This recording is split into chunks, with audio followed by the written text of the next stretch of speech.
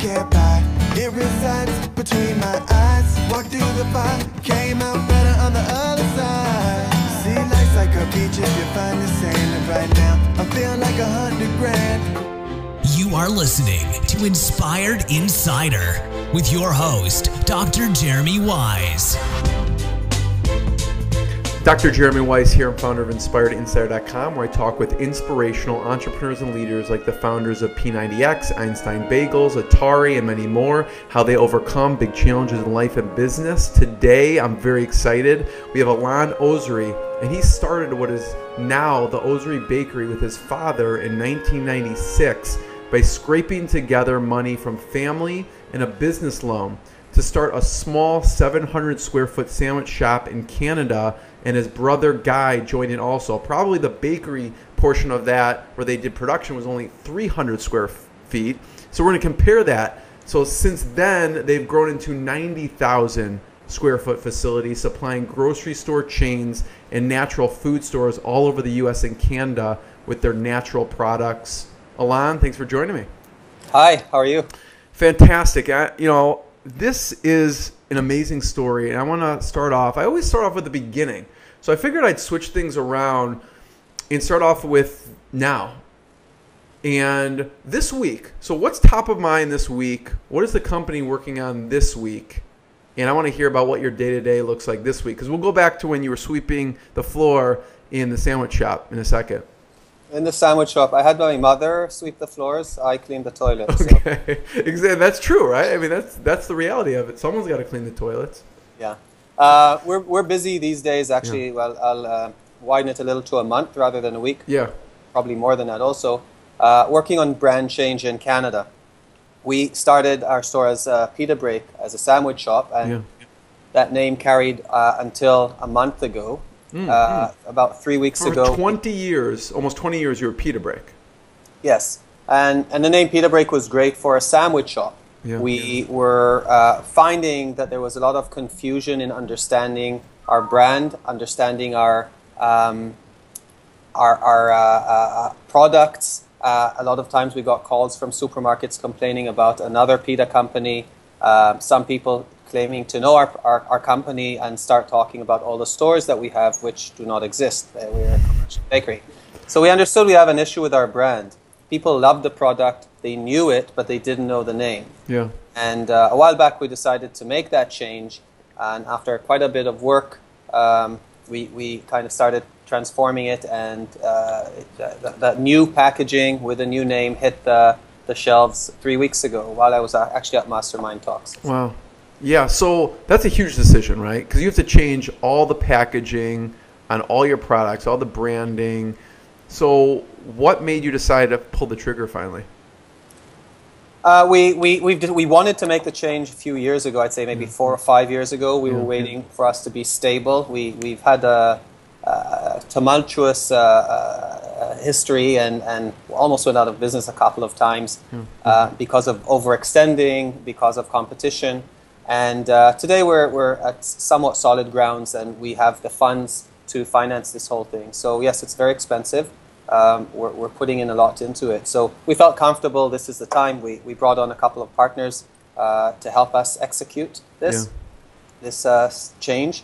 And so far, uh, knock on wood, we're, we're seeing, uh, we're hearing actually yeah. only positive comments um, not one negative comments, uh, yeah. given that we communicate with a lot of our consumers on a daily basis. So I'm, I'm both Guy, my brother, and, and myself are quite happy with the results so far. Yeah. So what did you discover with this brand change that you wouldn't have known without just going full out into it? Um, it's it's interesting. Well, we have been calling ourselves Ozery's Pita Break a few years ago. That didn't cost much okay. to change. It was like a slow transition. You're like pita break, then let's put Ozery pita break, then let's cut out the pita break and put in bakery. Yeah. And and our logo, our logo used to be like this running pita. Uh, some people will miss it. we promise.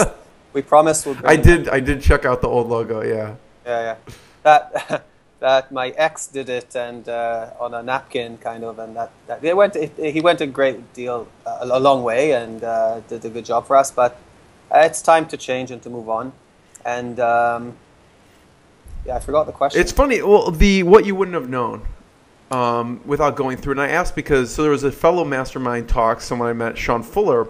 We were just talking about this last week, and he's like, you know, he's making a brand change. He's like, if you have anyone coming on who's done a brand change before, have them talk about it. What should he be looking for in his brand change and be doing? Um, so what we were doing because we're a, a product on shelf, uh, we're looking. We did make great. The changes we made were uh, our, our logo on the package, Yeah. and everything else we modernized it, and we think we made great improvements to the to the design and messaging, simplified it, clarified it. But the package still looks like the older one. So if you'll see, we, we when we look at a shelf, we, we tend to uh, walk 10, 12 feet back, look at the look at the shelf, and do we set, do we get the same sense? As you get closer, you start seeing details. So when you're 12 feet away from our shelf today, you get a similar sense. It's a similar company, similar colors, and you get closer, and you still get that sense. Only when you pick up the the package and start looking at details, you will notice that. Um, oddly enough, some uh, bakery managers, which see this every day and handle it on a daily basis, haven't noticed the change. Which I don't know what that means. If we, if our brand was that bad before, or, or um, you know, we didn't do a great job now. But uh, I, I think it's neither. I think we, we did a good job, and our goals of keeping it close to what we had before, yet Yeah. sneaking our in our name, are kind of working for us. What were some of the hiccups along with the brand change that that people should watch out for? Um, when it comes to packaging, uh, I won't go into details because I don't want to get my heart uh, rate going up again. Um, and, and perspiring uh, it w- isn't my It was most really stressful. Yeah. attractive trait. Yeah. So you have a drop dead date, and uh, all, all, all everything is set for a specific date for products to go onto shelf. You pay lots of money for uh, marketing on shelves, which happens during one week and one week only. Yeah. And um, and it has to happen by then. And we we have for us it's uh, issues of. Uh, registering names. It's uh, um, the organic accreditation, the GMO accreditation, the non-GMO accreditation. Yeah. There were so many moving parts, um, and and you have no choice. Yeah. Everything is printed on bag. Yeah, like your one bun, for instance, has like a big purple. I remember it, like a per- big purple organic logo Yes. On it, right? Like something like that. one of our bags. Yeah, yeah. Yes. So you make some changes because it's an opportunity to change ingredients, to upgrade, to improve things that you've held on for quite a while, and then just things happen. And um, no, uh, thankfully we we overcame everything. They were stressful, I'd say, month prior to, but uh, you know how things tend to sort themselves out. Yeah. Um, they they did in our case. Yeah, and you know, do in my research, it showed like you guys really innovate. And did you guys come up with that like type of one bun um, format? Because we get that, we've gotten it, and I, I remember we first got it. It wasn't that long ago, and you started that.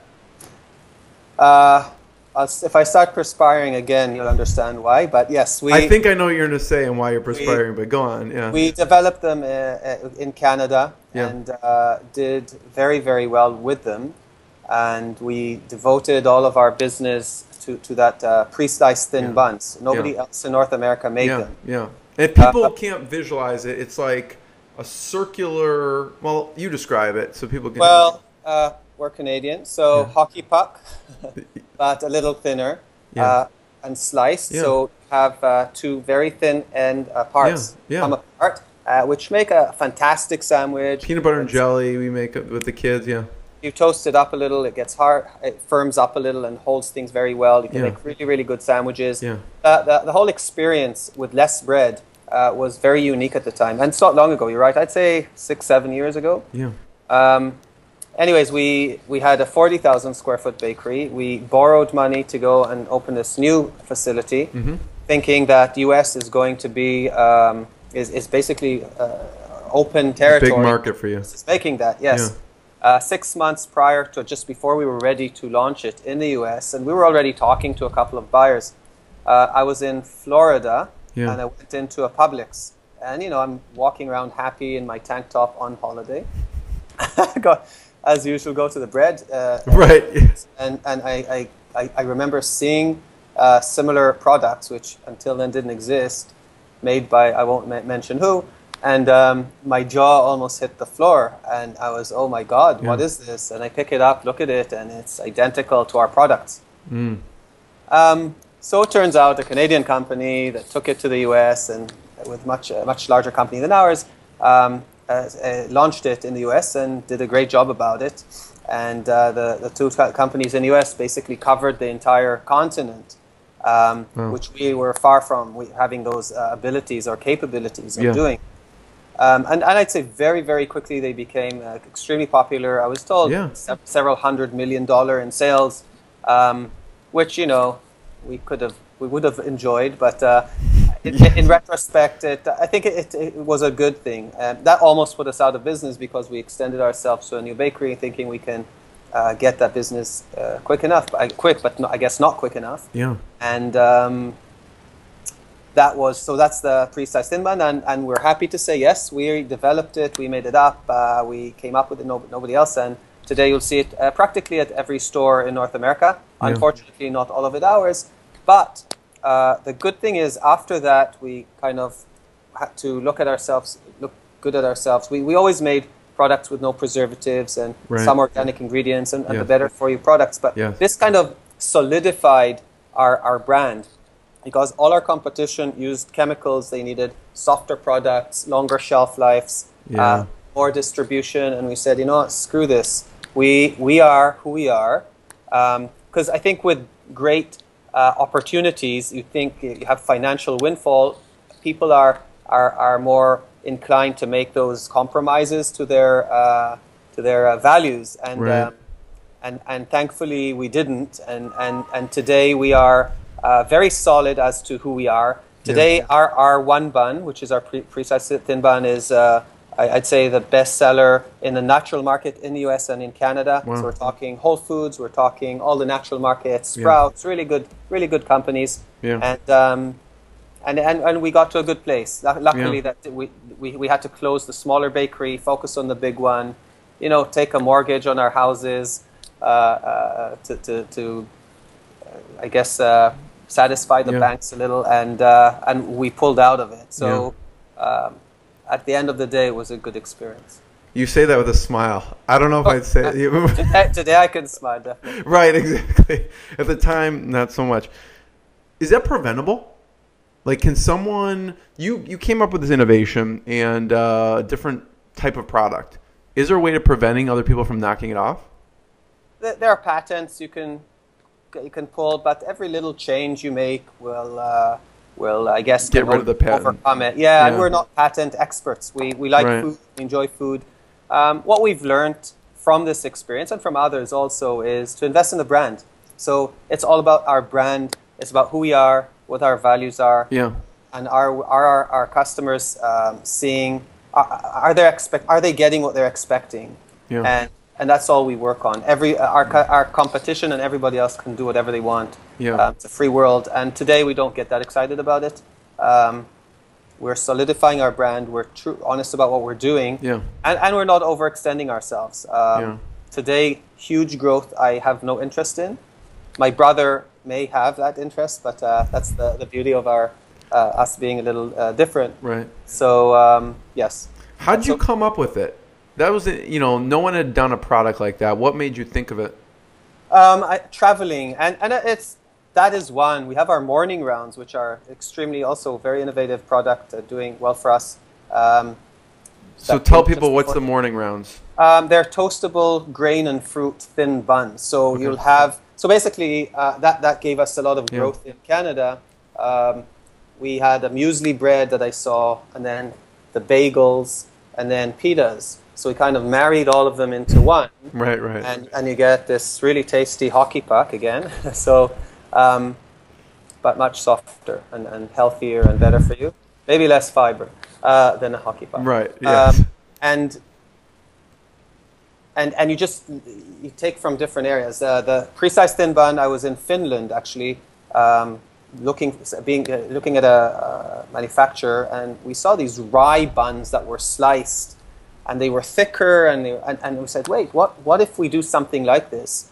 And we took it back to, the, to Canada and, and started playing with it, and, and yeah, it, it, the, the, the success we saw with it uh, in Canada was tremendous, and that's why, hence the, the growth opportunity that we saw. But uh, uh, at the end of the day, realized we were not quick enough. Yeah.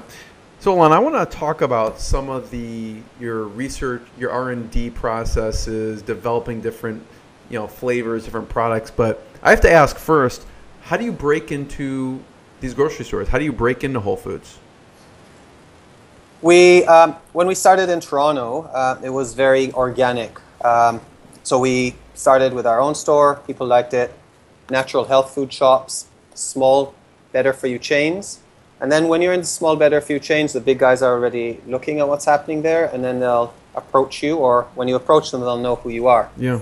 If you're different enough and unique enough in terms of product and brand, then Yeah. I think the, the, their ears would be open. Yeah. Uh, in the US, we attended a lot of shows. So we, we attend uh, five shows, two natural and organic food shows, which are massive, uh, both, both in Anaheim in the West Coast and in Baltimore on the East Coast. Um, and the fancy food shows in New York and San Francisco, and then uh, dairy, deli, bakery show. And, and all buyers go there, so they, they see products. And, and then you try and approach the more, I guess, the medium to smaller chains that are open to innovation.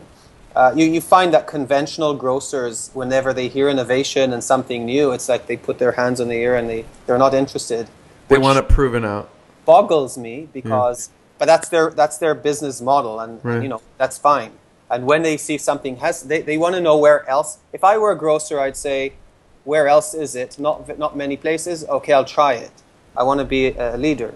Um, however, most grocery stores um, would rather hear that it's doing well and only then take it. And that's the challenge for, for newer uh, products to enter because these are like ex- things that expire Right. to 10 days. Right. They're hard to manage. Yeah. Uh, it's, it's not an easy market. I think Yeah. we, we picked one of the hardest markets It's to. it's horrible. It's horrible. I was watching a video of uh, on your channel, on your YouTube channel, of a girl.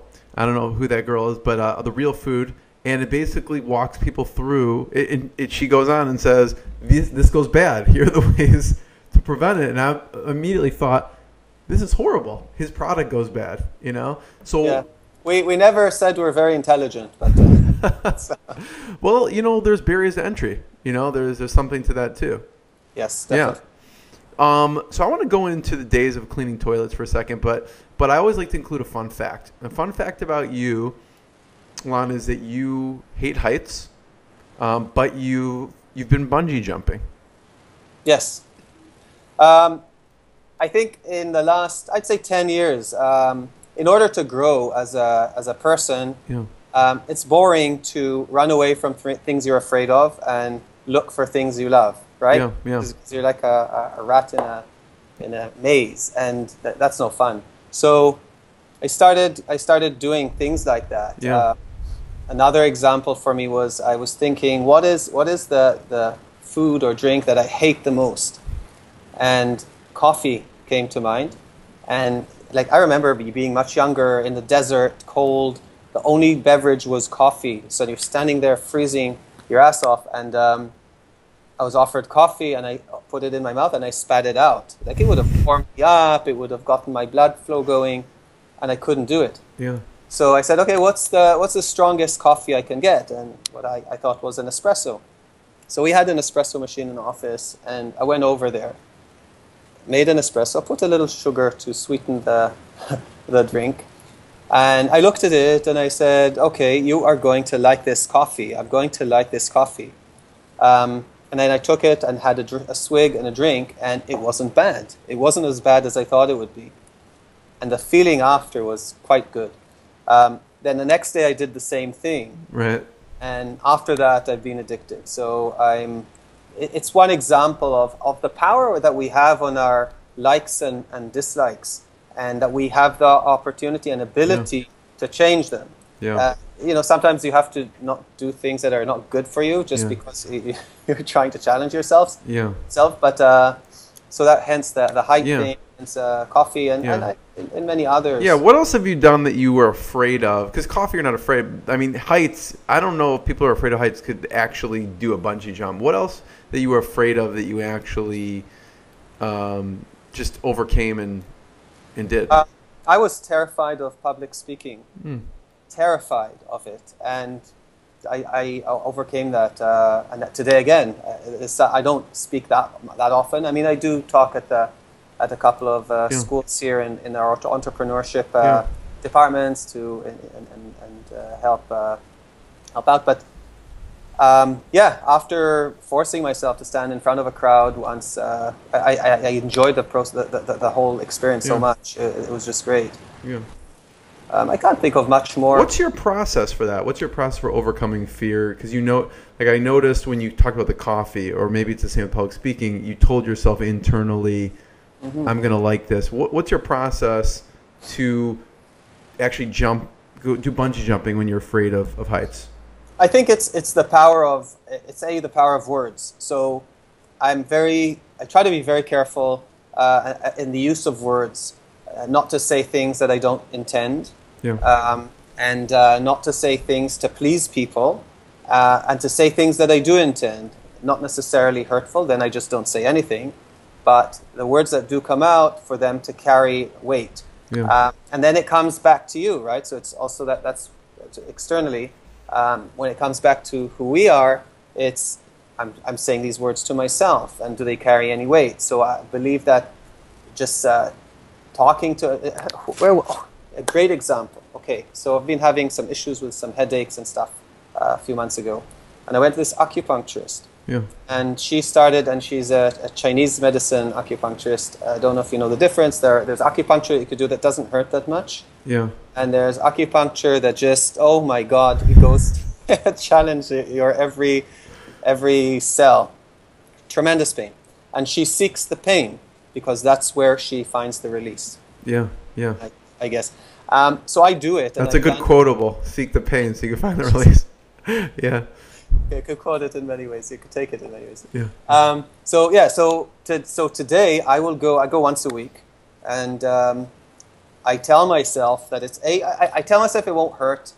That doesn't help that much. But what I do, so uh, the next step is visual, visualization to overcome that fear. Because I Yeah. mean, it doesn't make sense almost to do it. I, you do see results, but not immediate. Right. So we don't get that It's not a quick Yeah. fix. connection Yeah. between this is what you do and this is your this is what you benefit from. You can this is a little further th- from that.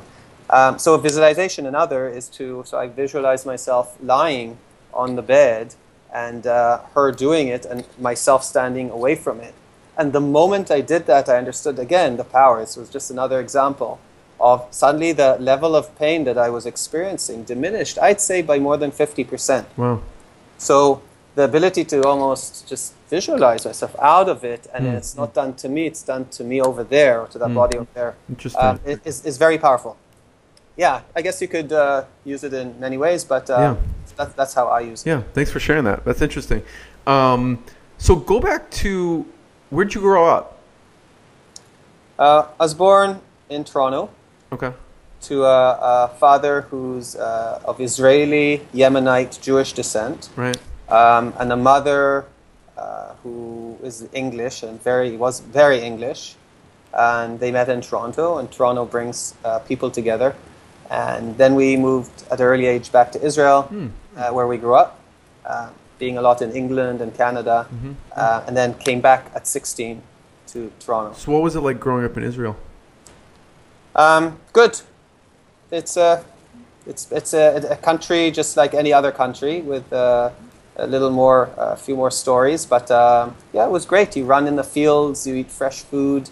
Um, our Yemenite family uh, was all about food and baking bread. That's where I learned to make pita. That's where my love to dough that is rising slowly and the smell and the scent that that that, that dough brings and the actual baking, uh, the, the, the, the the scent that brings people together Right. to, to to the literally to the kitchen Yeah. And grab and eat and, and laugh.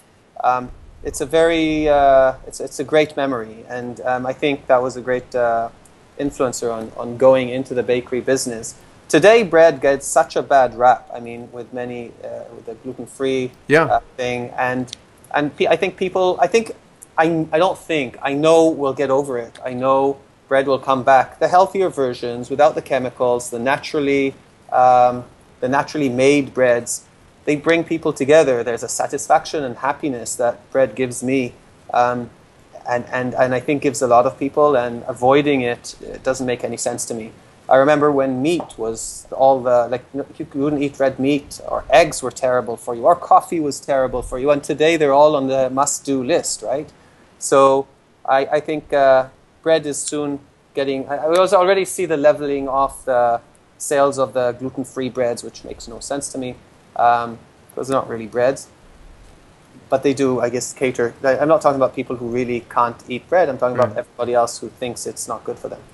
Uh, but I, I see it coming back. I see bread coming back, and there are great breads out there which are naturally made and and um, with time, and they may cost a little more, but um, I think we'll do okay. Yeah. We're we're doing good now today also. So, Alon, what did you at that time? What did you want to be when you grew up?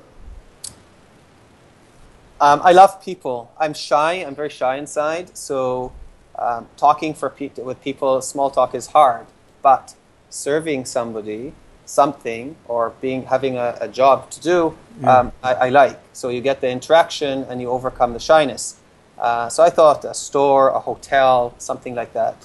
Because I remember I read somewhere you when before you started the you know the company Peter Break at the time, you were doing hospitality, right? Yes. Yeah, I studied at uh, Ryerson in Toronto, uh, University Ryerson University, and I did hospitality with business. Yes. Yeah. So tell me about the leap into your own business. Um, like I said at the beginning, you started it with family money. How hard was it to get that money together, and what did you actually say to your family members to actually have them invest? Because that's a big, big decision. Um, well, I went to Ryerson and I wrote the business plan for the sandwich shop Yeah. there, and it was it, it was a, a great class. Uh, you didn't have to attend class; you only had to attend the first class and the last class. Okay. The goal was to write a business plan, and there was a three hundred dollar uh, prize at the end of it. So whoever uh, gets uh, voted uh, the, the best uh, business plan gets a three hundred dollar, uh, I guess, in cash. right. So I, I didn't do that well in, in school or university, but in that class I happened to, I, I did really well. I, Yeah. uh, and my, my business plan was voted in as number one, Wow. which was great drinking money. So, uh, and um, so that, that, that's when the business plan was written. I went and got some more experience in food industry. So from age 16, um, I worked in, as a dishwasher in a deli, and then I was a meat cutter in a deli, and then uh, managed a counter. And then I decided to go to Canada's Wonderland, which is a the- huge theme park up here, and got experience in a restaurant. And then I became an area manager in the food department. So all that was great preparation. Yeah, you had a lot of experience. Yeah. It's not like you just jumped into a sandwich shop not knowing anything. No, I've never done it myself, but the food elements of it, I, I, I made sure I have that experience, Yeah. uh, including the managerial experience. So um, I, I finished university, I had 20 something, 20 odd thousand dollars uh, in debt. And I, I said to my father, I really, I can't see myself working for anybody. And uh, I really want to open a sandwich shop. Here's a business plan.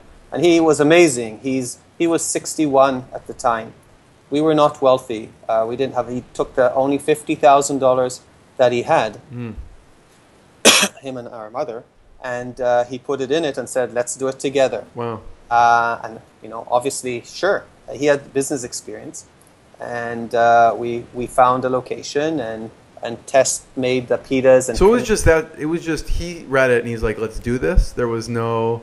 He's uh, he's an amazing person. He's uh, uh, an eternal optimist, Mhm. and um, he had faith, and we were backing up with action. So Yeah. that seemed to work for us. I'll tell you, I didn't sleep for. Then we, we went and we got a hundred thousand dollar small business loan, Right. and I was I, I honestly didn't sleep, and I worried for the first year because, to me, the retirement was on Yeah. my shoulders. Yeah. And sure. even though he worked, he worked there. Um, and, and at the end, he at the end, uh, after a year or two, he came every night at 7 p.m. because our sales of pitas grew and grew and grew. He came at 7 p.m., worked all night. 5 a.m., I would come in. Wow. We'd pack the, the products. He'd go home on his way, drop a couple of uh, uh, uh, store deliveries. I would go on my route, come back, do the catering orders of the morning, Wow. come back at 12, do the lunch rush, and then etc. My ex-wife, who's amazing, also uh, was part of that. Also, she worked as a waitress in uh, the Four Seasons Hotel, but she we made sure she works there uh, until a month after we opened to make sure we have people uh, coming to the store, and only then did she quit and then join uh, the store. So. So what was- you start? What were the what was the staffing like in the beginning? It was you, your dad. Me, my dad, um, a 16 year old guy named Craig, who I worked with at Canada's Wonderland, who today, by the way, does our, uh, manages our distribution. Wow. He's not a young man anymore. Yeah. Um, and one more part time person, yeah. My ex, who joined us quick after. And yeah, that's how we started. That is unbelievable. So your dad worked through the whole night. He did at 60, then it was 62, 63. When, when our business grew, it grew a little, uh, we, our sales increased a little, and we, were, uh, we saw, we never thought we could sell our products at the price we, we sold them. At the time, all the pitas in the market were selling at about 99 cents um, for very thin products, uh, Lebanese style, which are great pitas for what they are, but they were 99 cents. We were se- selling ours at 229 so they were a different product. They were all natural. We used different grains. They were thicker uh, but we never you know didn't register that we could sell them until we actually tried that and they started there was a demand for it uh, great demand. Um, and it was kind of again we grew organically from there. And from there we i remember two years into the store we were doing some catering a lot of business at the store but still the amount of energy we put into the business wasn't Yeah. worth uh, what we Like took out of 24 hours a day. 24 hours a day. we had to close Sundays and Yeah. we had to start yeah taking breaks. Yeah. But then it was what's next, and um, this guy, a customer, and I loved our customers. I miss our customers. Uh, very successful young man. He, he I was talking. I was, I was cleaning the, the the window outside, um, and he was standing eating a sandwich, talking to me. I was contemplating: should we go into catering? Should we open another store, or should we go into wholesale baking? Right. So he said, Alon, catering I already knew I hit, like shortened my life because you promise four, four customers, you'll be there at 11 for their lunch. You know you won't be able to do all of it, but you do it anyways. And Right. at the end of the day, they're okay, but the stress levels for me It's a were lot. Yeah. Yeah. And uh, another store, it was okay. We're going to have minimum wage plus uh, uh, employees represent our brand without us being there. That was a challenge. like it's done, and many stores do it, but it was a challenge. Yeah. And he said, Alon, you, you go into wholesale. It will be harder to get in, but once you develop a brand and once you're there, it would be a much better business model. Yeah. And, and I think since he made that comment, and very smart guy, Jonathan, um, I look thing, at things as models and look at models and how much you put in, what can they give out, Right, and, right. and if they make sense, will I approach them? Otherwise, it's kind yeah, it's great, but um, I'm not interested. Yeah. I mean, so Alon, early on though, what's interesting is a lot of businesses go out of business. They don't do well. So at what point it seemed like you guys were having so much demand where you were working around the clock. Where did you hit a point of getting that traction that you're I mean, too much business obviously is, is a good problem to have. Um, our, our issues at the beginning were not charging enough because Yeah. we made everything from scratch. Yeah. Everything we had on our counter the hummus, the dressings, the salads, the grilled st- ev- Sounds great. breads, Yeah. everything. It's great and it isn't. I don't know if I do the same. Right. I would choose a certain, a cer- the, the, the, the most important elements to be uh, made in house. Right. Um, but that was what. So and we didn't charge enough money, and uh, so we, we were successful, but we didn't. Th- there wasn't enough compensation for the work that went in. But it seemed to have worked for us. Uh, today, today we charge. Today I'd say uh, we're we're not expensive, but we're not the cheapest product out there either. What was the you know what's interesting early on um, from from reading the history is even from the beginning you were all about healthy ingredients and natural ingredients and that seems obvious now but back then not so obvious No, what, far what, from what made you decide made that conscious choice because it's also more expensive to do and they go bad quicker Yeah. So, Um, yeah talk about that decision and it- why At, at first it wasn't a conscious choice. At first is when you make fresh product and you eat it, you don't need chemicals. You don't need softeners, stabilizers, uh, enhancers of all sorts for the process or for God knows what or for nine day shelf. Who needs that? You eat it. So that's how we started making our products. Yeah. And um, and then we, we started selling it to stores and we were like five day shelf life and like it was it was terrible. Even today our products have a much shorter shelf life than our competition. Uh, we just serve the stores more often and uh, we're there more often, which is you know an advantage and a, and a disadvantage. And you mentioned it earlier. It's I guess it creates uh, barriers of entry. Uh, it's harder to do what we do. Yeah. Um, but but uh, I'm very sensitive to a bunch of foods and chemicals, especially. Yeah. And um, we don't want stuff. We don't want that stuff in our products. Yeah. So what's the R and D process like? How often are you coming up with new products? Um, it's a very organic process, and I think it, at first it was mostly myself. Um, yeah. I'm very. It's, it's either you have it or you don't. I yeah. think. Um, today we have a great uh, R&D developer uh, uh, manager who joined us. She's amazing, uh, Aneta, and um, Erolan, who's part of our team. Um, I think part of the, the process is to have a lot of fun, to think differently. So not to be in, in office or yeah. a work environment the whole time. We go out, we drink, we eat, we laugh. We were in California for a food show. We drove around, we went to restaurants. Um, you get ideas, you get excited about things, and then you go and try it. Um, you give, uh, you have to have open eyes. You have to look at things not as they are, but just notice them, and because they're, you can always take elements from different things and right. apply them to, to a bread or to whatnot when it comes to development. So our issue today is not, our, our, development is not an issue. Our issue today is if we develop something new and exciting, yeah. it's successful, we're screwed because we have to buy, build a whole line that can supply the whole country. And that's kind of uh, uh, limits our ability to uh, develop and it's funny because Guy and myself, my brother and I, are, are very different. The, the beauty of it is today we are a medium sized bakery here in Canada and the US. Uh, my brother is able, he created the systems and the flow and, and in an amazing way and the, the equipment, which is state of the art, to our, to our process, custom made, right. slow, slow, slow baking, slow everything. Um, so if it was just me, I would probably have a very successful stall in a market so I'll be uh, and, and, and selling every day and, and having all that excitement and great product, but I wouldn't uh, be able to touch as many people mm-hmm. our product. And the combination of my brother and I gives us our ability to sell our products, uh, which I think are very like they're tasty and they're good and they make you happy um, everywhere across North America, and and um, and that's fantastic.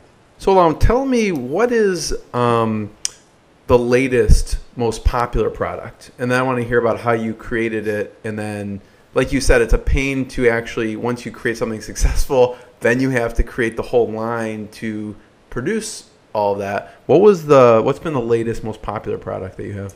So, I, I really like two things, and they're still not out there completely, but we have a really nice, really nice olive oil cracker. Um, mm it's so it's again I, I, we have we haven't created any new families because we're so busy with what we have right now, uh, which is kind of a shame, but it's what we have. Uh, the olive oil cracker with multi seeds in it, so it's with sesame seeds, flax seeds, and black onion seeds. Really, really nice flavor, uh, mm-hmm. amazing. Mm-hmm. And our new uh, new-ish uh, morning round um, that is uh, date and chia. So mm. we the chia seeds, which are amazing, and dates from the Middle East uh, in, a, in a whole grain bun.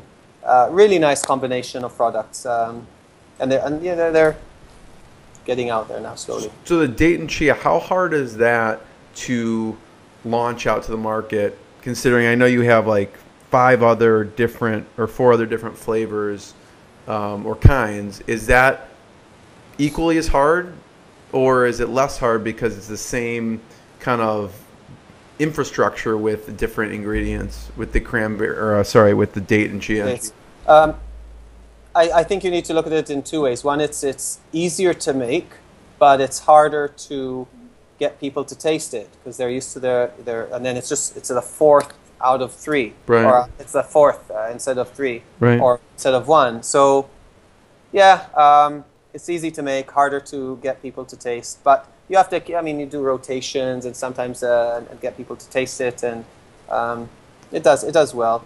The, whenever if we need a new family of products and we have a couple of new ideas again it, it will take we, we may need a new building and i don't want a new building right Your brother was like, let's buy a couple more buildings. my brother has the plans in the drawers in his drawers and i'm not, i don't want to look at them yet. So when you say a new family, like like crackers, since you haven't done, you don't have a cracker product, that would be considered a new family.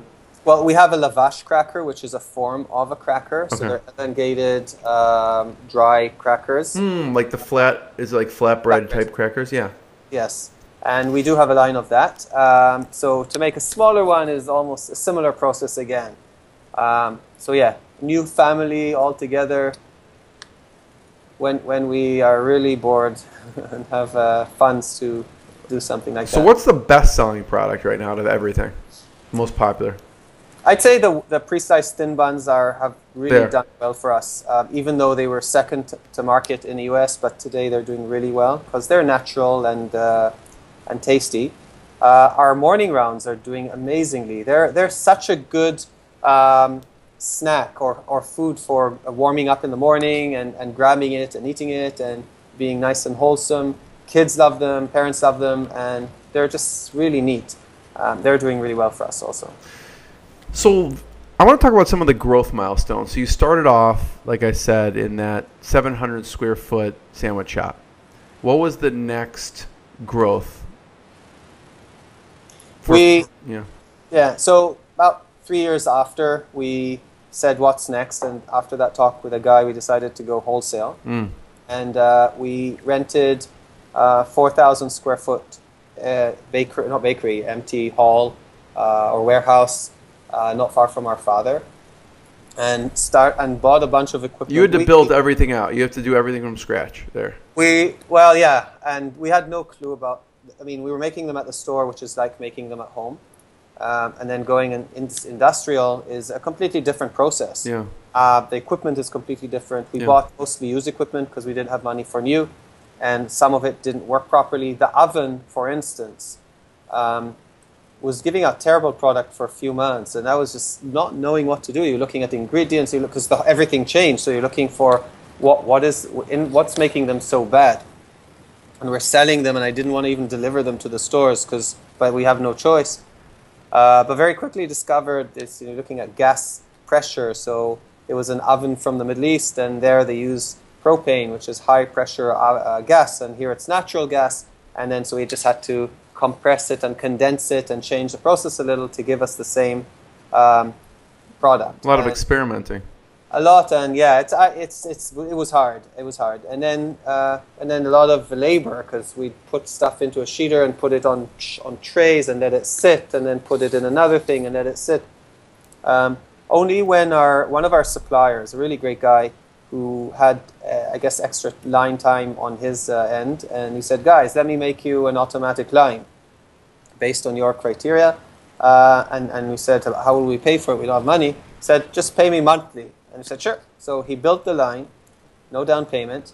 And So he what is really liked- building the line? What what's entailed? so it's an automatic, it's a, a line that would take products from the divider rounder and it will travel and then it will fall into a sheeter and then travel and then go into the oven.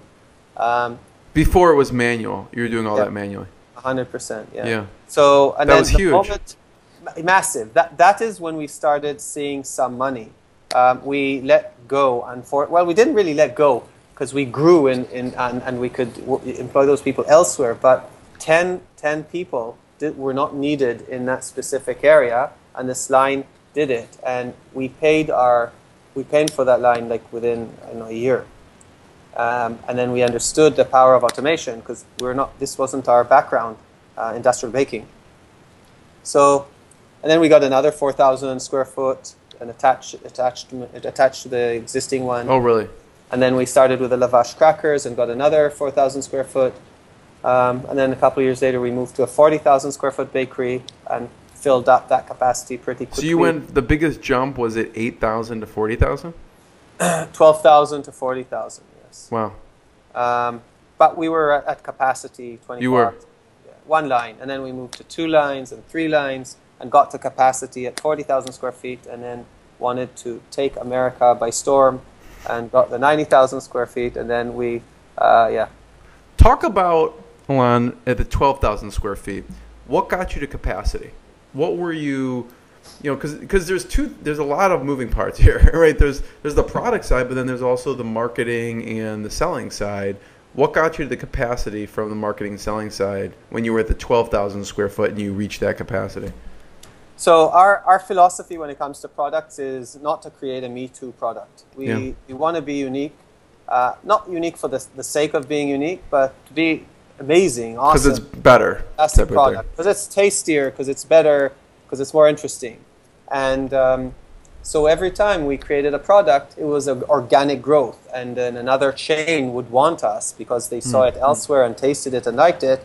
And so did the end So it was organic. It wasn't even you 100%. reaching out to, oh, we Yep. want to get in this one. Let's reach out to them. It's, it was well, more we reached out, but Yeah. it wasn't uh, that, that, that, that them approaching us wanting our products because we were dealing with all these, as you said, moving parts, and especially with manufacturing because we didn't have the experience with that. Um, and thankfully, at that time, Guy joined us, so that's again a while back. How'd you did you convince him or did he want to come on his own accord? He well, he, he when we just moved to the 4,000 square foot bakery, he came.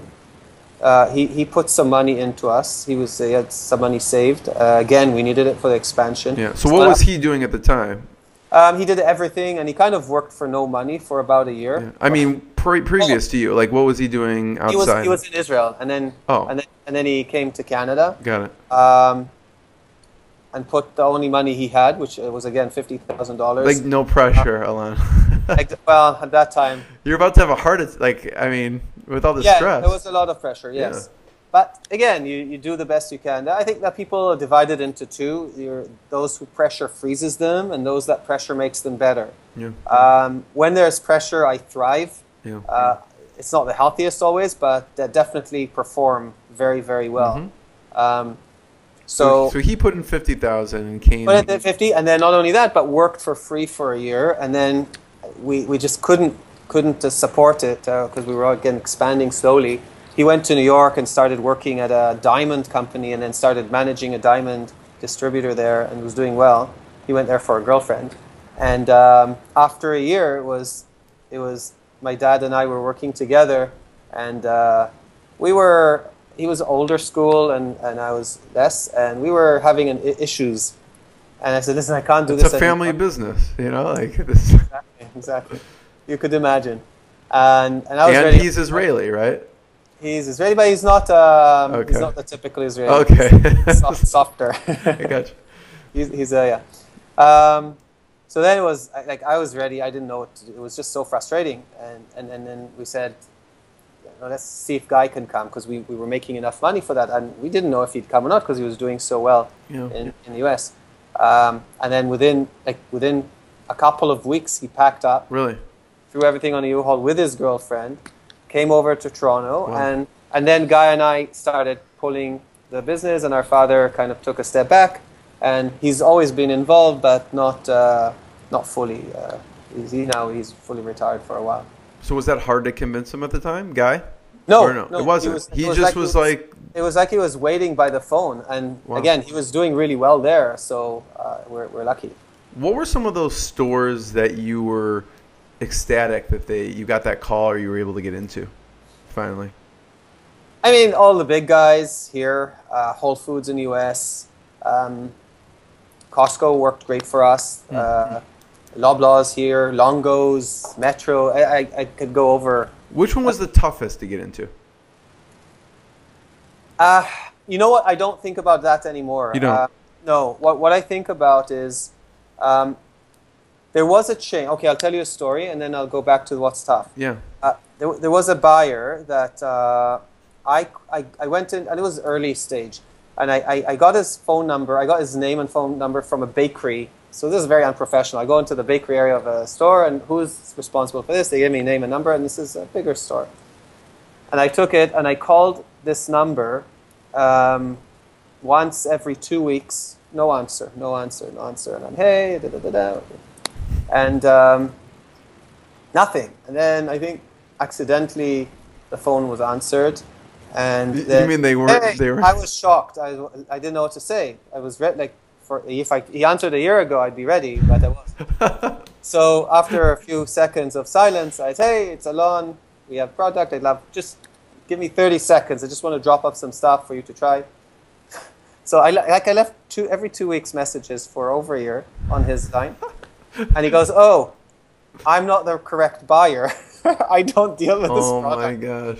Let me give you, let me give you the person that deals with it." And I'm, "Oh God, like, do I have to do this for a year now?" And then I got the And then that person's like, this isn't the right one.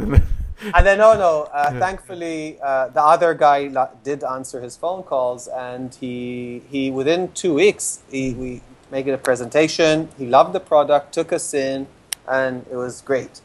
Um, today, uh, we I, say it's not a store that I want to be in. It's a store that will understand our products, and it's the consumers and understand its products because it's not a given that once you get into the store and Yeah. the products are on shelf that it sells. Yeah. You, uh, especially in areas, I guess more in the U.S. It's funny. Some education and some time is needed for customers to understand the product, Mm-hmm. um, and it just takes time. So we're not looking for just anybody. We don't want any partner. We want Yeah. partners that understand Yeah, that yeah. will will promote it, and once they do, it will do great. So it's So- about of a. It's so what does that look like today? Like who who is that? Oh well, well today it's the natural market in the U.S. We're Yeah. pr- practically in most stores, Yeah. mo- most natural stores in the U.S. and they're doing great. Um, now we'll see. We'll see about uh, reg- regular chains, and Yeah. we're, we're going to attempt there. And again, it's a matter of a fit. Will it work or not? Yeah. I don't know. What Um, besides like Whole Foods and those? What's the, the fastest growing natural chains that you find? Well, uh, Sprouts is doing great. Mhm, Um, there, there are a few others, uh, but but Whole Foods is changing so much, and there's, they've been such a good partner to us. So. Um, Is that change good or not good? Um, yeah, I can't tell you. It was moving. Different departments handled products. Mhm. I, so, so. It's too early to tell. So what were you going to comment about the tough part? Anything else about the tough part? You said after that story, the tough part about getting in uh, the toughest, you know, store or toughest part, or how you think of being tough getting into the stores. Well, the, uh, so that's what I just said is about the. So it's about the consumer. So Mm. you, you're selling twice. You're selling Yeah. to the buyer, I to see. the supermarket, Yeah, then to the bakery manager that handles what actually happens, then the consumer. yeah, So we're, we're selling to two, at least two, three levels. yeah. the buyer at the office, the bakery manager, and the consumer. Yeah. And there are three different uh, mindsets, by the way. It's not, uh, I mean, when it all sells well, they're all happy, but Right. till that happens, you have to uh, send different messages, uh, different, yeah, educate them differently. Alon, what would you do if you started today? This sounds so stressful. would, if you were to do something in the, the food industry, not bread, what would you get into? Um, I love food. I always say, like, I really do love food. Yeah, it could be the food Uh, industry, but not bread. You cannot do bread I, I or would crackers. I would go into something, something. Well, uh, uh, I I don't want snacks because snacks I I don't believe in. I don't like you're eating a snack unless it's a super healthy snack, a raw Mm-hmm. food thing, or something that does good for you. Mm-hmm. Um, I, I would say pre-packed, frozen, maybe uh, meal solutions, but that are like organic, healthy, natural, better for you. Um, that that that could. I think some damage could be done there. I think. Yeah. I think there aren't enough of those. Yeah. Yeah. So Yeah. frozen and that you sell less per store and all that, but you could do you could do good. Uh, there's a great uh, company called Amy's. I don't know if you know Yeah, Amy's. yeah, for sure. Oh, yeah. I, I, I admire them. They they make all their foods. I remember at the natural food shows, um, ten years ago, I'd say, when you actually met Amy's parents who run the business, and you'd, they'd give pizzas, and Yeah. it was amazing, amazing. Now I was just in in Anaheim, and I went to Amy's. First of all, you cannot like the lineup was crazy. Her parents are definitely not there, and uh, I had no patience to stand in line to get their pizza. So they've seen tremendous success. Right. I was sorry they're this big because I didn't get to eat their pizza, and um, and they're really nice people also, from what I could see. I don't know them well, just met them a couple Yeah. times. So, Alon, you talked about the capacity at 12,000, then 40,000. What caused you to reach the capacity there? Was just more grocery stores, more. Yeah. Yeah. Yeah, E- Eastern Canada. So between the the morning rounds that we started, and then Yeah. a couple years after the pre-sliced thin buns, um, that basically organically uh, entered the market and kind of uh, filled our, our lines. When you come out with a new product, like the Date and Chia, right? Will those stores automatically take you, the ones that you're already in with the other product, or does it take some selling still? Um, the ones who are good partners uh, would. They really like the idea of date and chia. Nobody else makes that. Yeah. And um, it's a good product. So the ones we have good relationships will try it. Yeah. Others, you have to do some uh, some selling, uh, but I'd say most of them took it. Today, the crackers it takes a little, a little more. I think I think when you're a smaller company, and I'm just realizing this, it's it's always it's harder, but it's easier. So when you're uh, like a hotter, smaller company, you could almost make anything, and they'll try it, um, as opposed to, and it almost has nothing to do with the product, I think. But but it's, they they'd look at it more, they, they'd consider it, uh, rather than being a little larger company, and as an addition to, uh, yeah. So Why do you think? um, They want like the little guy to win, or what is it? No, I think it's, it stands out a little more. So if uh, if you're a smaller company, you stand out more. Uh, larger, you don't as much. Um, maybe it's uh, there they have the founder, like the, the, the, the, the fire of the founder is closer to them. They feel that energy. Yeah. Uh, maybe. I, I probably think that is, has something to do with it too. What's the product that has the longest shelf life? This short uh, shelf life thing stresses me out. I have to I tell know, I see that. I see. It stresses me out. Yeah. Right, rightfully so, though. Yeah. Um, the crackers, so the lavash crackers, they, they have a six month shelf life. Okay. That You- doesn't stress me out as much. But it's still stressful because, like you said, once you sell, once it comes off your facility, comes out of your facility, how long until it gets. So Yeah. we there are two methods. Uh, we we uh, treat this the fresh product. Uh, One is whatever is made today, tonight will be shipped out to stores in Ontario and Quebec. yeah. As- long as we have a I don't know up to a eight hour drive, we're good for fresh product. Yeah. Um, as to others, you freeze them. So we have a, a really sophisticated freezing process that captures the goodness in it. Uh, the quality remains the same. Um, then it's palletized, frozen, kept frozen the whole time, and then shipped out to distribution centers, gets to the stores. Um, the stores, this is the, uh, uh, uh, then defrost them and then put them on shelf.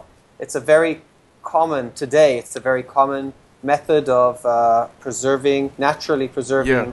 uh, breads. Um, and most of the most of the bread manufacturers today in the natural market freeze and then thaw off or Yeah. sell it in the freezer. Yes. Yeah. So, So, so that kind of uh, does help. yeah, what is the freezing process? Is it a certain process that it's called something? The freezing process?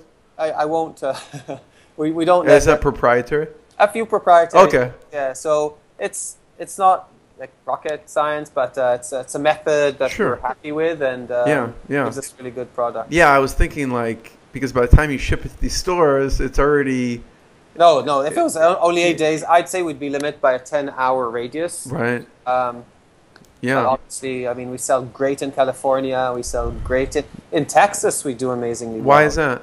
I don't know. They have great taste buds. I think. Yeah. So, what are the the states that do the best? California, Texas, any others? Um, I'd say California does very well. Yeah. Texas does very well. Northwest, so Portland, Seattle, that area. Mm-hmm. Um, the Northeast is doing well for us also, and you know, I'm covering the whole country this way. But Chicago does very well now. We have a bunch of stores in Chicago. Hmm. Yeah, but I'm sure we've gotten your product here. I'm in Chicago. Yeah, I'm sure that, and we've had those breads for a long time. You you have them. I, I Yeah. I know you have them. Yeah, Uh, oh for sure. yeah. Um, so you know, with it, all this, all of it sounds difficult, and then on top of it, you're creating a physical product. So this is very capital intensive. Plus, you're growing. How do you do that from 40,000 to 90,000 square feet? You're more than doubling your capacity. And that means also all the raw materials you're increasing too. Yes, it's it was uh, yeah it was rough. Uh, well, at the same time, we, we the market we thought was right for us was taken. They were m- right, but they just yeah someone Yeah, yeah, yeah, somebody flooded it. Did a, made a right decision move and a business move and uh, and took the market, which is you know I take my hat off to them. They did a they, they did a they, they did a good job. Um, yeah, it's hard, and and we're fully uh, we're still we, we had a few times where we had we were looking for money in order to grow and expand and all, but Yeah. uh, thankfully it never materialized. So today we're like we own the company uh, between the three of us, and uh, and and we we're we're doing okay. Yeah. So the what's the hardest part about setting up that commercial operation? Like when you go from forty thousand to ninety thousand, what are the what are the Oh, it's challenges. massive. Just, just first you build a, a line or two in the new place, and then you need to move existing lines. And when I say lines, these are massive metal, uh, stainless steel structures that are Right. all interconnected one with another. Yeah. There are companies that do that, but Yeah, uh, a it's expensive. B it's the moment you change things, you know, bringing it, putting it together is a challenge. But we have great teams of people who who took care of that. So it, it's possible, and it's I mean companies move, Right. and uh, yeah. Now I know it's, it's you could do it. Before I didn't think you could. Do I mean, that. do you have to get a whole like a, a line of equipment, or does it like an overnight thing? Like we have to move this line first into this facility and get it working, or do you just get a whole new line yeah, and so then move the do. second line? Correct. yeah. Is that what you do? Yeah, because you, you, you need to keep uh, your your your um, facility working Yeah. because the fresh part you can't build stock. You can't. Uh, Right. yeah. So so. Uh, You we have to get two going at once Make sure type of it's thing. working, and made sure the old ones are working, and then you move them one at a time. Yeah. And it takes a month at least. Yeah. So I'm curious on what product just took off that surprised you, and then what product didn't do as well when you thought this one's going to just just flood the market and be a bestseller. Um, so we were fortunate. So ever since we started the sandwich shop, the large pitas did it really well. I didn't expect them to do well. Um, then the the the morning rounds, not, ex- not not knowing anything, did extremely well. And then the pre-sliced thin buns. What didn't do well? I'm trying to think. Um, you know what? We just came out with a square. Uh, The ciabatta, yeah, I saw Yes, that. Yeah. and that's that's uh, limping, and, and I don't know if we'll try and push it. Uh, may let it uh, uh, expire with dignity. yeah. Uh, we're, we're going to see. Yeah, it's interesting. I when I saw that, I thought, hmm, that's interesting because you changed the shape, Yeah, right? it's a completely different process. It was a completely Really? different line. It was yeah, it was it was a challenge, and it's such a nice product. But with there, the shelf life was four days, so it was a, it was a I logistical nightmare. And and and and we don't work. You know what? We could put in chemicals and extend it, um, but we wouldn't do that. Yeah. I'd rather I'd rather not sell it than put chemicals Right. in. So either they'll take it or they won't. It's a really nice product, but Yeah, yeah. You stick to your your core and your your foundational principles. yeah, Yeah. hundred percent.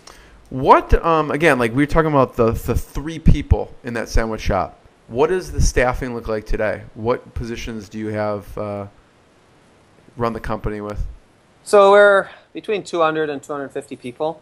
Um, it fluctuates based on seasons. Yeah. Um, we'll have all the regular departments, uh, HR, uh, production, uh, production managers, uh, HR manager, accounting manager. So today, Guy and I are not involved in the day to day. Mind you, we are. A lot of team members there um, have worked with us for so long. They know us very well. Yeah. We have uh, just just a bunch of really good people. So on one hand, it grew so much. On the other, we still have the the people who've been there for a while. So it's it's good. So, what has been a key hire for you that you remember? Wow, this just changed my business life. That I was Uh, able to take this off my hands. That's a that's a good question. Uh, it happened several times. Yeah, tell me so, about it. So at the beginning, moving into the 4,000 square foot bakery, um, I remember mixing. So I'm mixing stuff. I have my connection to the phone because I was also the secretary and the order taker. Right. So I'm mixing dough, and whenever I stop, run over, write whatever, answer, and come back. And then I deliver it also. So my brother did the same, and my father also. We were all kind of Yeah. everything. So the best time of my life was hiring a mixer. Then I, dro- I drove. The best, the best day of my life was hiring a driver to replace me, and then I didn't deliver. At what that. point do you decide to hire that mixer and the driver? You know, I, I can't tell you. It wasn't. Uh, it was just right. It was You just when- like you were overwhelmed, or what? when s- when you stabilize things. So when Yeah. you're things stabilize, then it's okay. What's next? And then it's okay. Let me replace me. Uh, and then when a really great moment was when we hired a lady to do customer service at the stores, which I thought nobody could. I thought I'm irreplaceable, but uh, she did a better job than me, and and be- definitely better looking, and um, she she was amazing, uh, and that was the, just let me think and focus on the business. So those are the three ones that I remember. Uh, I mean, they were very real because they re- released Yeah. hours in my day. Yeah. After that, we always had people, but I'm always kind of choosing what area to focus Yeah. in. Um, today, both my brother and I focus mostly on new business, uh, branding, some marketing, and uh, just the whole and and, and uh, non for profit, which is really important to us. Yeah, so the mixer, the driver, and the customer service were the biggest things that freed Yeah. up your time. So after you hired the customer service person, what? Now that you have more time, what did you do more of? Um, created more products, worked on branding, worked on improving packaging, um, putting thought into the product and into the company. Yeah. What were some of the you mentioned before some of the tough times, like the ups and downs? Sometimes that you were on the brink of whatever it was. So the last one was when we opened uh, the 90,000 square foot bakery, and I was I have a really good buddy who lives in Maui, so I go there once a year for just uh, around a week. The best, uh, amazing, amazing time. And I get a call from uh, I think my brother that the bank was calling in, uh, requesting us to put money in to appro- to to, ch- to uh, support the ratios of our loan Yeah. and uh, it was oh my god that, that was like the, the sky fell on me because you work work work work work and now you have to open a mortgage take a mortgage on your house and put in Yeah. uh, and, and you're doing this for 16 years like 15 years right so you think you're out of the wood but you're not I'm hearing about this for the past like hour, and I'm already stressed. I don't know how you do this for 20 years. just have a good drink after this Oh god, a couple of good drinks. Yeah. that's been helping me for 20 and a years. one a one bun and a couple of good drinks. go to maui have a drink and you'll be good So you get this call and so yeah and then you know again that, that when when i saw the the one bun uh, imitation at uh, the store in florida that was the world collapsed. Um, yeah but but today it's so there was another one um, we were called we were called into a supermarket uh, chain which we did a lot of business with and we were told that like we're done within two months and if we'd be Really? done with them within two months, it would be out of business. Um, so yeah, so you go and work your magic on everybody. why? and- Why? Why? Why were you going to be done in two months? Uh, because other bakeries can do Mm. it, we couldn't distribute to the whole area, even though we developed the product. It was it was a whole story, but um, thankfully there were really good people with there that uh, really appreciated our business and um, and and vouched for us and fought for us, and uh, and we did. We were back in, and we were never out, so it worked out well. You know, this may be a strange question, but I always think about this. You know, with the product in the grocery store, whatever it's a bread or whatever it is, and after, let's say it's there for after its expiration, whatever, it's been two weeks. What do they do with it? Well, it's for the, the, the commercial breads, it's two weeks. For our bread, it's after Right. like so it's like days, like seven, seven days. days, right? We take it back. Yeah, it's a it's a tough business model. So what they don't sell, you take back. so what do you do with it? Uh, it goes to feed, so to animal feed, Oh, okay. and, and you don't make money out of it. It's just you don't really. Damn, I know. it's horrible. Some, I guess, uh, breadcrumbs would make, but there are so many breadcrumbs you can sell. So Why can't you charge people for feed? Why why can't you charge? That's the business model. They uh, They just get it for free. Containers. They take care of it. They get rid of it. They they yeah. That's I don't know. man, Alon. This is horrible. I told you we're, we're not bright people. No, it's uh, it's yeah the business. someone's got to do it. Yeah. Um, what tools and software do you use to run your business? Um, What's key for you guys in the operations? We keep improving. That's that's my area. My brother deals with that, and um, but we have a, a system that brings everything together. It's it's not what was it called? I forget. Um, I forget, but it's it's um, it, it keeps an eye on inventories and compares to to, to, to shipments. Because you have a lot of moving parts. You know, you have like not- yeah. yeah, you have ingredients that you're coming in, ingredients that are going into the breads, ingredients that you've ordered. You have to keep all this stuff straight. Yeah, This we have a lot of products in the freezer and pallets that go Yeah. out, come in. So yeah, it's a lot of moving parts.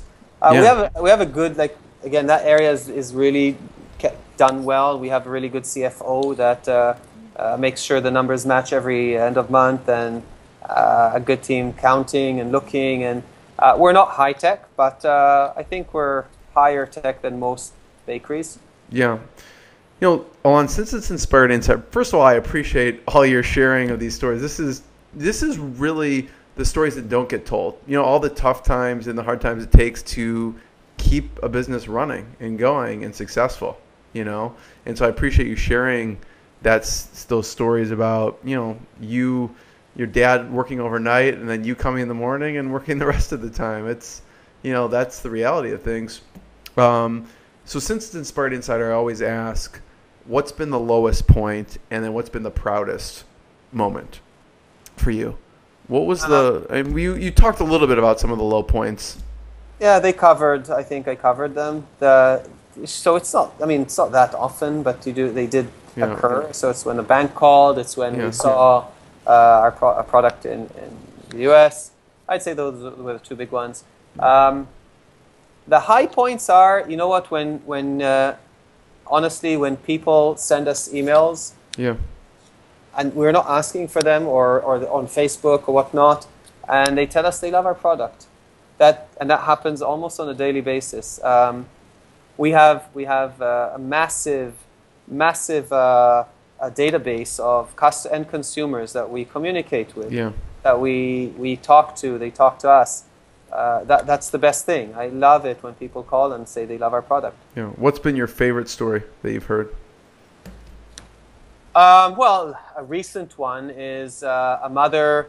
So we don't declare that we're not free, um, just for certain legal reasons. Yeah, But we'll say we're, we we cannot put the stamp on it. But we have no nuts in our bakery. Our team members are not allowed to bring any uh, nut products into our bakery, um, or to even eat them at lunch. So we do, and, and our suppliers don't hold the ingredients with nut products. Right. So that much we do. You, it's on you to decide if you want to use it or not. So this lady um, decided to, to try it, and her kid, who's really had really severe issues, uh, was so so happy that their kid they c- could take it to school with them because it because they were they were having issues with healthy snacks that don't have nuts in them or Right. that they're not. It was amazing. It was just amazing, yeah. and um, yeah, that- You affect people's lives. Yeah, it's the little things. Uh, we make a lot of products a day, and, and we put in a lot of, uh, no joke, uh, good good intention into these products, and and we hope that that whoever eats these products gets just only uh, uh, good uh, good stuff from them, and and on a, almost on an ener- energetic level. So it's just we want people to be happy and and better once they eat, obviously with a good taste and and the, the clean label. yeah. Uh, but but that's part of how, how we do things, and that's definitely our intention. Yeah, and the consumer one's big, but I want to know something also on selfish. Like you've worked for 20 years in this, working really hard. So what's something that you've celebrated, a win you celebrated because of of how hard you worked with this company? Oh, I celebrate all the time. Yeah. So all the time. Uh, when we went to San Francisco uh, for the show, so it's you know half work, half What show is it? What, what's Uh, the the show? Fancy Food Show in Okay. January, and um, I took uh, the product development team with us, and we went literally partying the, uh, through Napa Valley and San Francisco, and had a, a blast. Um, I'm able today, you know, in two weeks I'm going to Maui again for a week for no reason. Um, just I felt like going, and uh, two weeks ago I decided, and I can do it. Uh, there, there are a lot of uh, benefits, and you know, uh, our father is amazing. He, his whole life, he had he, he ups and downs financially, but throughout he always lived his life fully, and Yeah. he enjoyed life. So he'd go to a, you know a little a cheaper Chinese restaurant. I remember as children when we were not doing so well at times, we just, we'd go out and we'd have a great time in this hole in the wall. Today we'll do the same thing, and it will be either in a hole in the wall or not. Um, it's, it's, it's, I think it's the at, it's how you look at it, and we, Yeah, we're not yeah. materialistic. I'm not looking for uh, necessarily fancy cars. We're looking for financial independence, definitely, and we're, we're making headway towards that. But we, we don't care for huge houses, fast cars, and stuff like that. Right, Uh, right. At least I'm not, and um, not, not my family either. Um, we, we do, you know what? We, uh, yeah, we, we want we want to do we want to do have a positive impact Yeah. and uh, and live well, and I think I think we're doing that. We do a lot of work with with the with the community. Yeah, I saw that. It's something you donate like thirty six thousand of some product per year or something. Or where did I? What was I reading? Um, that may be. Uh, so we all. The, I'd say the marathons, all the big marathons and runs in southern Ontario, which is fairly big in Toronto and area. Yeah. They all get our our our uh, morning rounds in their bag, but that's the we support. Uh, we support programs, breakfast programs in more than hundred schools in in the Greater Toronto area. We don't make money on it, so.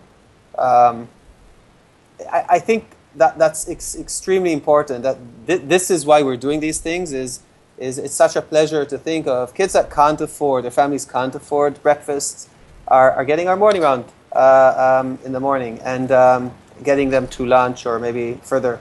Uh, it- it's really nice. Yeah. And, and we work also with entrepreneurs and younger entrepreneurs. So that's like my best friends now are, are younger entrepreneurs or yeah, less young now, but um, just it's it's it's a these it's it's more than just selling and money and stuff like that. Yeah.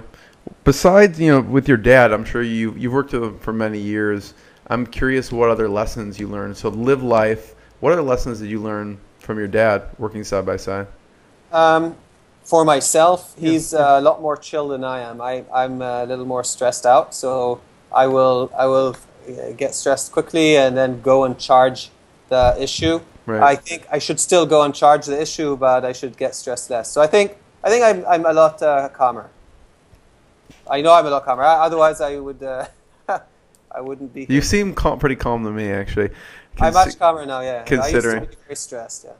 What um, have we not talked about so far that would be important? Some advice to entrepreneurs maybe thinking about getting into uh, the food industry. Um, I think the food industry is amazing. I think um, the more innovative you are, the better chances you have to succeed. Uh, I think that enjoy enjoy the ride. It's uh, if you go to food shows, have a blast. Uh, have your customers feel, and, and the consumers notice it. It's like it's funny. People know if you were if you you have a good time, if there's good energy in your company. Um, treat your people well. So our team members, uh, Yeah, I want you to talk about this a little bit. Yeah, this is important. it's super important because everything you make goes through their hands, Yeah. and and uh, you want them again. You don't want miserable people working for you. You don't you don't want that. Um, and and so our teams are whenever I remember the both Guy and I and our father were super happy when we could give and this is maybe 10 years ago the health benefits sadly Yeah. and it cost us a lot of money Tons of money. hundred like hundreds of thousands of dollars um, and and but we were happy that we could offer it and that they have it um, when we are profitable we have profit sharing Yeah. so it's also large sums of money they, like that money doesn't have to go there it could go into our pockets um, but we're very very happy not that means that nothing goes we, we do benefit from business but we want the people working with us um, to benefit so i Right. remember uh, just this this year uh, in december I had a, one of the ladies in the office. She was woohoo! Just after we whatever declared, Uh, and, and I said, hey, what's happening? She said, I'm happy. I said, why are you happy? She goes, I'm happy and Canada Goose is going to be happy. So she was able to now go and buy a Canada Goose coat, which cost like eight, to nine hundred bucks. Really? Holy cow. Yeah, yeah, yeah. So she was so happy. And this is, you know, these are not high, they're average income or lower than average because of the, the job itself. Um, so that was so nice. It was just nice to see. How did you decide that the profit sharing component? We because we always wanted to.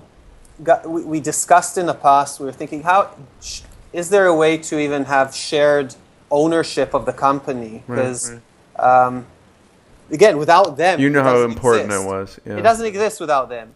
Uh, but then, because of legalities and lack of control or control issues, and it just always got complex with lawyers.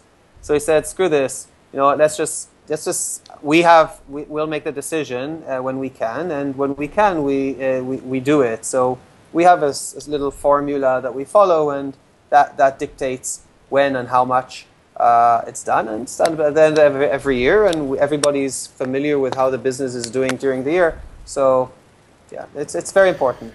It, yeah, I remember it's in a few articles actually. They mentioned that, and I uh, it really stuck out. Um, how do you come to that structure? Do you, are there certain professionals that are they're experts at that? Let's say someone wants to actually create that. Like, Alana, that sounds like an amazing idea.